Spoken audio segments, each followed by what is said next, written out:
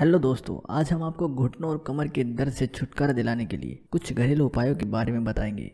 आजकल घुटनों और कमर के दर्द की समस्या काफ़ी आम हो गई है। यह समस्या केवल बड़े बूढ़ों को नहीं, बल्कि युवाओं को भी होती है। अगर इस समस्या का समय पर इलाज ना किया जाए तो यह काफ़ी खतरनाक रूप ले सकती है। तो चलिए घुटनों और कमर के दर्द को राहत दिलाने के लिए कुछ घरेलू उपायों के बारे में जानते हैं। सबसे पहले आप ठंडे पानी से सिकाई करें। ठंडे पानी की पट्टियों से घुटनों की और कमर की सिकाई करें। इससे रक्त कोशिकाएँ यानी ब्लड वेसल्स सिकुड़ जाती हैं और प्रभावित हिस्से पर ब्लड फ्लो कम हो जाता है। ऐसा करने से दर्द कम हो जाता है और सूजन भी कम हो जाती है। आप ठंडे पानी की पट्टियों को रखने के अलावा बर्फ़ के टुकड़ों का इस्तेमाल कर सकते हैं।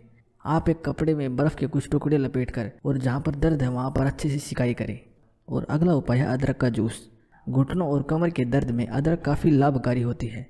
अदरक में जिंजरोल होता है, जो जोड़ों के दर्द के अलावा मांसपेशियों में खिंचाव को भी कम करने में मदद करता है। रोज़ाना अदरक का जूस पीने से दर्द में निजात मिल जाती है।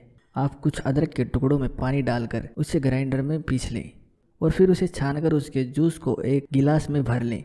उसमें एक नींबू और आधा चम्मच शहद मिलाकर इसे पी लें। इसमें एंटी इन्फ्लेमेंट्री प्रॉपर्टीज़ होती हैं, जो दर्द के अलावा सूजन को भी कम करता है। इसके अलावा यह यूरिक एसिड को भी रेगुलेट करने में मदद करता है।